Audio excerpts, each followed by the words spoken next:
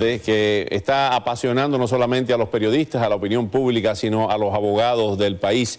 Y es el hecho de un millonario que realmente eh, tiene un nombre muy significativo. Se llama John Goodman. Goodman es hombre bueno, buen hombre.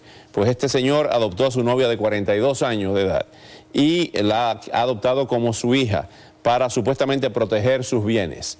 Vamos eh, justamente en medio de una demanda civil, cuáles serán las implicaciones de todo esto. Y aquí está el informe. John Woodman, fundador de un club internacional de polo del sur de la Florida, adoptó a una mujer de 42 años en un caso que ha llamado la atención de la comunidad. Sin duda que es un descaro de la gente. Hoy en día le importa poco la vida de las personas y hacen lo que sea por evadir eh, cualquier cosa que tenga que ver con dinero. Por extraño que parezca, Goodman adoptó a su novia, Heather Larusso Hutchins, el pasado mes de octubre en una corte en Miami-Dade. Muy extraño, muy extraño porque lo que hay es dinero por medio y por eso es que ella aceptó. De acuerdo a varias fuentes, John Woodman adoptó a su novia como hija en una estrategia legal para proteger sus bienes de una demanda civil que se sigue en su contra. La demanda fue interpuesta por los padres de Scott Patrick Wilson, de 23 años de edad, quien murió en febrero del 2010 en un accidente de tráfico causado por el multimillonario, quien aparentemente no se detuvo ante una señal de pare, y su auto chocó contra el vehículo del joven causándole la muerte. Woodman, quien se declaró inocente, afronta acusaciones de homicidio premeditado y su juicio está fijado para el próximo mes de marzo. Lily y William Wilson, padres de la víctima, han dado a entender que el hombre utilizó este proceso legal para evadir su responsabilidad monetaria. Uno de los problemas es que existe un fideicomiso para los hijos menores de Woodman y aunque un juez dijo que en caso de que por ley tuviera que dar una compensación monetaria a los familiares de la víctima, este fideicomiso no podría tocarse. El millonario tuvo miedo y prefirió adoptar a su novia en un caso sin precedentes. Para Cerseca Fondo, Diana Montaño, América TV. Pues bien, este reportaje de Diana Montaño nos eh, revela muchas cosas y tenemos con nosotros aquí al doctor Sabino Jauregui, quien es abogado y ex fiscal. Gracias por acompañarnos esta noche. Gracias por invitarme. Cuéntenos cuál es su lectura, su evaluación de este caso tan eh, interesante y tan nuevo, ¿no? Muy interesante. Eh, esto nunca se ha visto.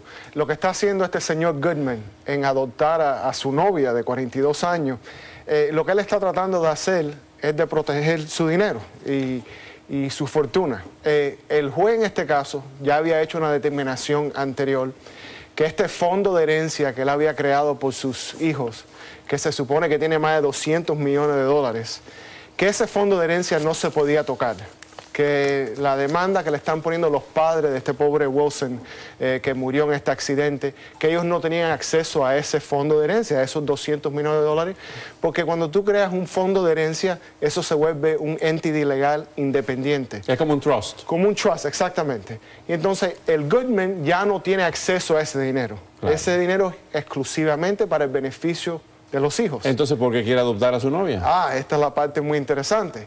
La razón que la adoptó a, su novia es porque ahora la, novia tiene acceso a un tercio de ese dinero mm. y la novia que está con él, ahora él tiene acceso a ese dinero y él puede vivir de ese dinero mientras que va pasando esta demanda. Estamos hablando, si es un tercio de, 200 millones, unos 66 millones 666 mil 666. Claro, que ya puede vivir muy cómodo con ese dinero para el resto de su vida. Y entonces ya los padres que le están poniendo la demanda no tienen acceso a ese dinero. ¿Qué pasa con temas tan importantes como la patria potestad, por ejemplo? El hecho de que usted adopte, usted es el padre de, esa, de esa señora de 42 años, pero a la vez es su mujer ¿Cómo usted puede vivir con su hija desde el punto de vista legal? Bueno, los vivir, vivir un estado marital. Claro, pero las adopciones eh, de adultos son diferentes a, las adopciones de niños. Las reglas son mucho más eh, relajadas. Los jueces en sí, cuando hacen estas adopciones de adultos, lo hacen de una forma automática.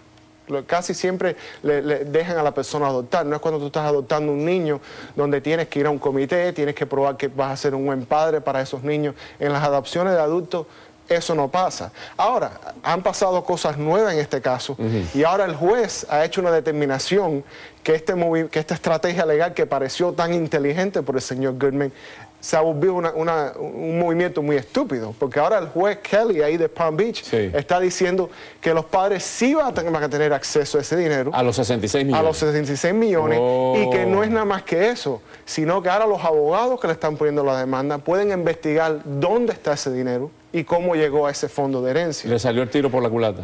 Totalmente, porque anteriormente cuando el fondo de herencia era solamente para los dos hijos, toda mm. esa información era confidencial. Por ser menores los muchachos. Exacto, porque ese fondo de herencia está creado nada más que para ellos, para ayudarlos a ellos por si él se, muere o fallece.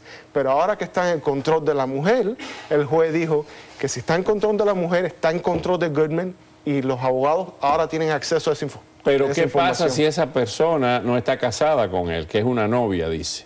Desde el punto de vista de la Florida, no son marido y mujer. No son marido y mujer.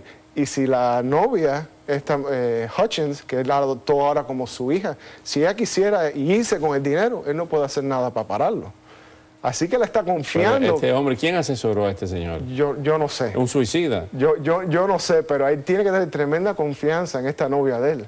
Porque al momento que ese dinero va eh, para ella, él no tiene control sobre ese dinero. Ella se puede ir con ese dinero y no pasa nada. Porque es como una herencia de un hijo. Exactamente, es una herencia al cual él ya no tiene control. Al momento que tú pones el dinero en, un fondo de herencia, la persona que puso ese dinero ahí ya no tiene control sobre Aunque ese haga lo que se conoce como un contradocumento, otro documento por debajo. No, se puede hacer. No se puede hacer. En un trust de verdad no se puede hacer.